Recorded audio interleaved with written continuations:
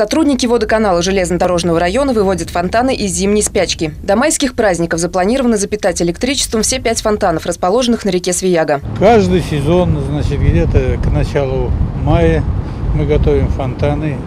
Э, летом обслуживаем его, значит, ремонтируем, если надо. И в октябре месяце в начале демонтируем. Дотянуть кабель, изолировать его, подключить и закопать. Работа кропотливая, но по заверениям сотрудников недолгая. На подготовку фонтанов уйдет не более трех дней. Два из них на набережную Лгу уже готовы к эксплуатации. Официальный сезон фонтанов стартует 1 мая. Виктория Черкова, Константин Никитин. Новости Ульяновской правды.